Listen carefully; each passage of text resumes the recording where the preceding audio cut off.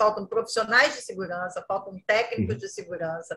Vive esse momento de transformação digital e nós temos uma série de novas tecnologias chegando, como inteligência artificial, cloud computing, 5G. Como lidar com esse, com esse mundo da segurança diante de tantas novidades?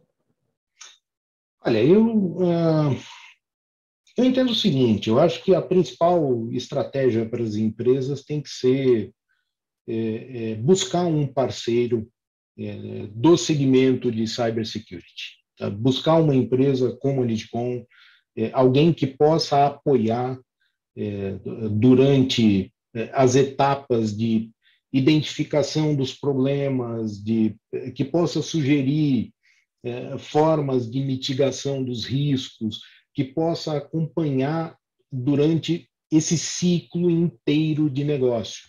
Então, ah,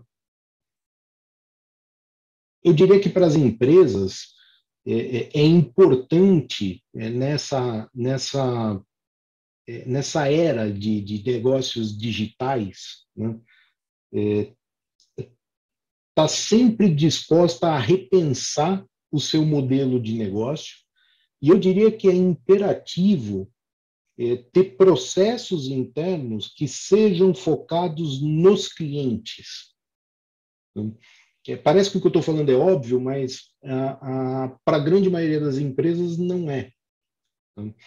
É desenvolver é, discursos que são voltados para o cliente é uma coisa desenvolver processos internos que sejam focados nos clientes, ou seja, priorizar atendimento, priorizar resolução de problemas, priorizar qualidade daquilo que você está é, é, prestando como serviço, como produto, como é, entregável final para o seu cliente, é, parece óbvio, mas não é fácil de fazer.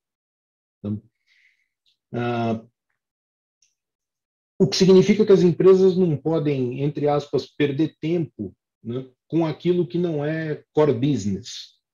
Nesse sentido é que vem a recomendação de procurar é, um parceiro, uma empresa especializada, alguém que possa ajudar, alguém em quem você tenha confiança.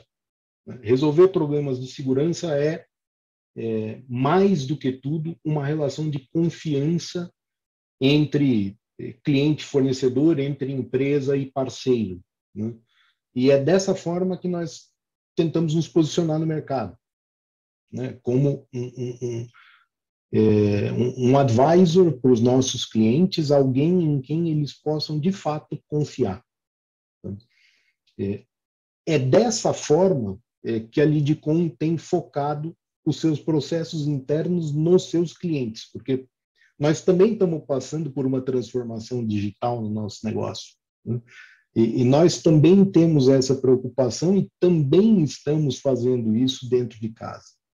Eu acho que é importante, é, de novo, né, identificar os impactos, identificar os riscos, é, criar um plano de ação é, para é, é, mitigar os riscos que foram identificados e ter alguém que tenha conhecimento sobre este mercado apoiando durante esse processo inteiro.